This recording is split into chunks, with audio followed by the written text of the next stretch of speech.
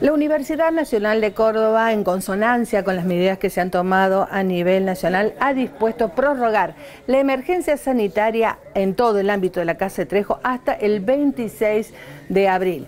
Y siguiendo con este tema, creo que es muy importante este dato que le vamos a brindar de una encuesta que se ha realizado en el ámbito de la universidad y que más o menos explica la lógica de por qué de la ciudadanía se está resistiendo a cumplir la cuarentena. ¿Sabe por qué? Porque la mitad prácticamente considera que no se va a contagiar. El dato surge de dos encuestas consecutivas realizadas por el Centro de Investigación y Estudios sobre Cultura y Sociedad de la Universidad y el CONICET, en las que participaron más de 1.400 personas en la Argentina.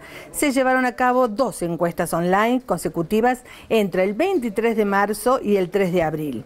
Otro dato que surge de estas encuestas es que un 48% supone que en caso de contagio la infección podría ser severa.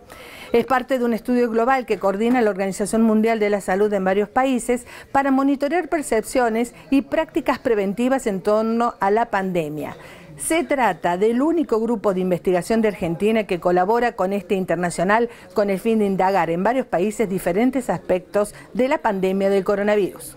Y otra controversia internacional es el uso del barbijo. Ustedes saben que la Organización Mundial de la Salud dijo que únicamente se debía usar para casos, digamos, de personas que se han contagiado o que tienen síntomas, para quienes cuidan y para aquellos que tienen algún tipo de enfermedad. Pero los están usando prácticamente masivamente cada día más en todo el mundo y también aquí en la Argentina. En Córdoba se va a implementar a partir del próximo viernes. Queríamos tener la palabra autorizada de alguien que sabe de esto que es el decano de Ciencias Médicas.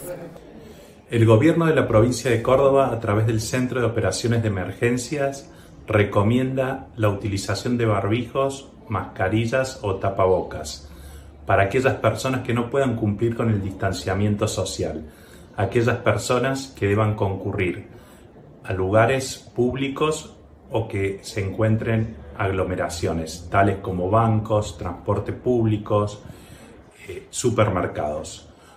¿Cómo es una correcta utilización del barbijo? Previo a la colocación del mismo hay que higienizarse y lavarse bien las manos durante 20 segundos con agua y jabón. Colocarse el barbijo. El barbijo debe cubrir desde el mentón hasta la nariz. No debe quedar espacios entre la cara y el barbijo, debe estar bien ajustado. El barbijo, una vez que se humedece, hay que desecharlo.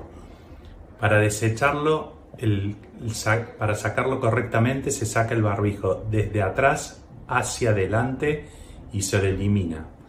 Una vez que se ha sacado el barbijo hay que lavarse nuevamente las manos con agua y jabón por 20 segundos. Un buen lavado y correcto de manos.